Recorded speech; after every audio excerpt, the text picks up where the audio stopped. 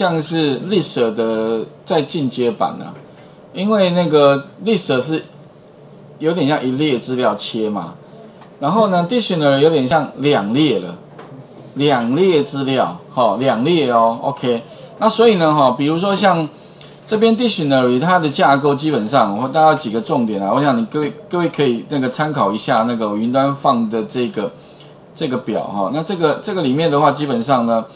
呃，比较重要的大概就是常见的地区，我们底下有个练习题啊。那它一定是第几个的话，你可以给它一个数字的，地区呢第，那那你可以用 len 算出它里面有几个，其实跟历史还蛮像的，还有移除啦、复制啦、取得第几个，那 item key 哈，然后等等的哈，default value 也可以由 key 去取得 value 了哈。那这里的话，当然了，这边有一些相关说明，自己稍微看一下。那我们实做哈，其实有时候你看那上面的方法，有时候还看不懂，但是你做了之后，你就会知道为什么。比如说，我今天希望怎么样，把某一个人的姓名，然后呢冒号之后放一个他的成绩，一个 key 一个 value。那它的架构一定是前面是呃一个 key，key 的话通常指的是编号，或者指的是哪一个学生的名字。它后面的话有一接的一个层级，啊，姓名层级，姓名层级，哎，啊，其实刚刚不是我们那个练习，其实我们刚刚练习题也可以把它把它直接带到 dictionary 里面，比如说我们刚刚一个成绩，姓名，那如果把资料读进来，再放到 dictionary 可不可以？可以。那可是 dictionary 要怎么建立哈？大概是的做法这样：一，第一种做法是你可以一个大刮胡，一整串的全部丢进来。但是你必须要符合他的他需要的东西啊。第一个就是说呢，前面是那个人的名字，一定是双引号，后面冒号呢，后面就是他的成绩逗点。哎啊，跟刚刚那个历史有点像，可是里面是放两个东西哦。好，那特别注意，它这个是第一种放放的方法，一串直接丢进去给他。第二个方法是你可以怎么放呢？你可以放这个方法。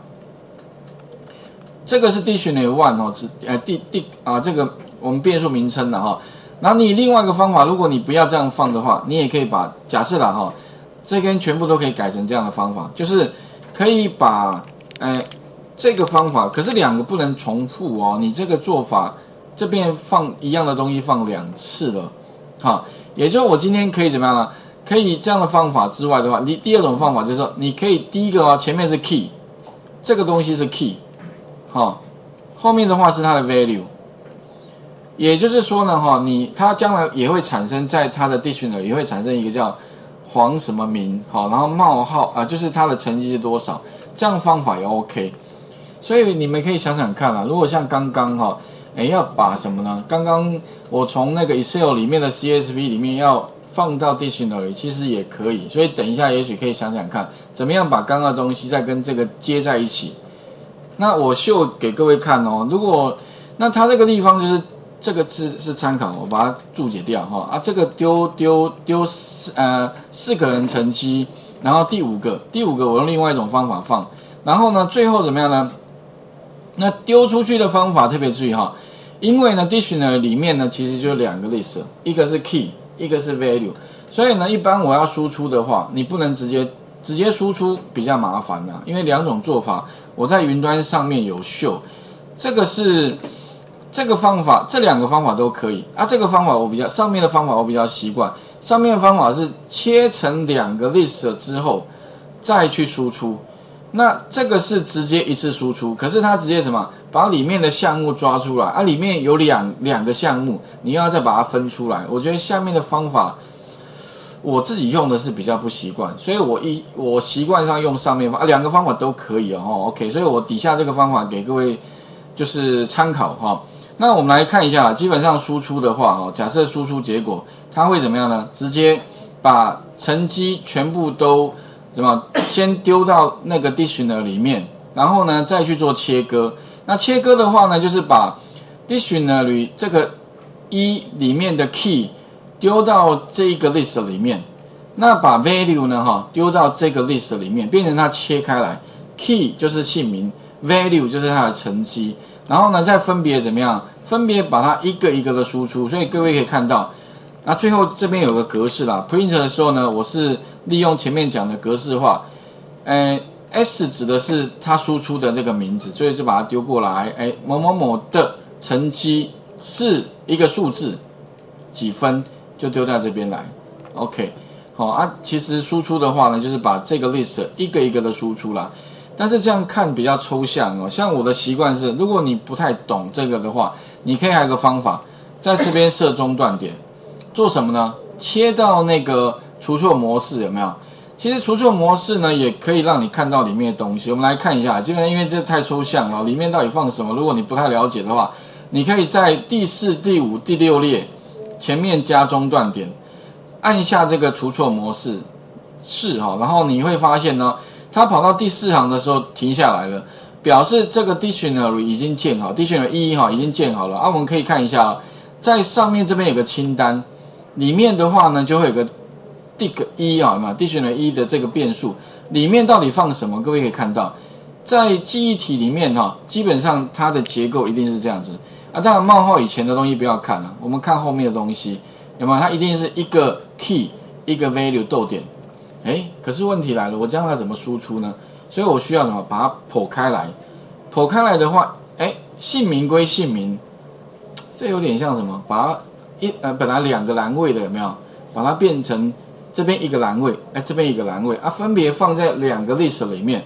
所以呢，我执行这一行之后哦，这个时候会建一个什么呢？一个 list 名称叫 list key，这个执行起来你会发现哦，底下这边有个变数。它就有点像什么，把那个 dictionary 里面的资料哈的前面的部分的 key 有没有，都分别抓出来，放在哪里呢？放在这个 list key 里面，OK，放在这里，OK，它分开来了没有？等于是 dictionary，反正简单讲讲就两个栏位啦。如果你用那个 Excel 里面的概念，就是两栏，一栏是姓名，一栏是成绩，哈。可是这两栏你要一次输出，我觉得比较麻烦。我所以我的做法是，把姓名的剖开放在哪里呢？放在 list key，因为姓名是 key 哈。那另外一栏呢，就是成绩，就丢到哪里呢？丢到 value 有没有？一个、两个、三个、四个、五啊？前面不要看了，冒号以后等于是他告诉你说这个变数的名称而已。那这样的话就分两栏的。那再来我们怎么样呢？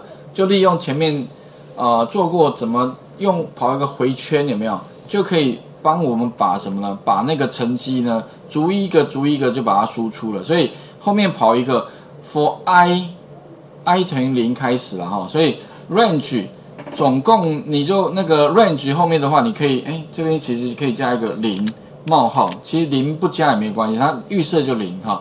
零到总共有几个？好，总共有几个的叙述。然后呢，我们就直接怎么样把这个结果哈。把它把它输出，哎，是不是这边应该改成是？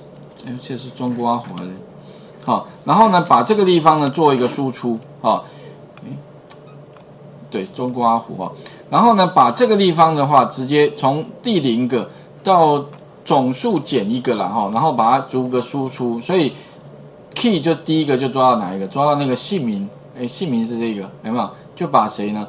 把零差名成绩抓过来。逗点好，然后后面的话输出成绩为几分？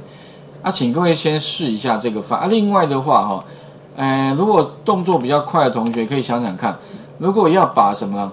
把刚刚我们这个输出的结果有没有？哎，我们现在是输出到哪里呢？输出到这个，那我有没有办法直接丢到哪里啊？丢到那个字典档里面再输出，把两个结合在一起。